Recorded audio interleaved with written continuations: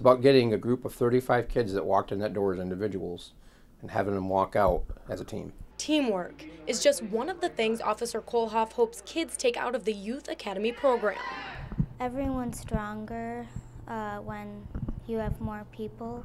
In this two week long camp, they are learning what it takes to become a police officer, from marching drills to crime scene investigations. We actually filmed a video, like a surveillance video of a person breaking into a building, and then each team goes through and is required to do certain things. Each team member is assigned a specific job to solve the crime and will make their case in court. Each team has a detective, and then that detective will actually get on the stand and testify.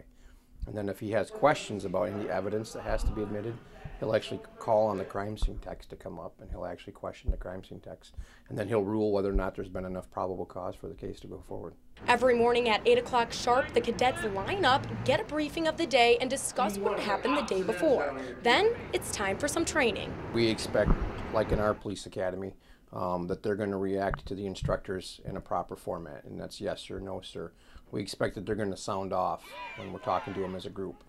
Um, when we go out and do um, physical training, we expect that they're going to be out there calling out their numbers, that they're counting out their exercises. And the cadets don't seem to mind. You know, take up opportunities like this because an opportunity like this only comes once in a while, and uh, if, if you got it, take your shot.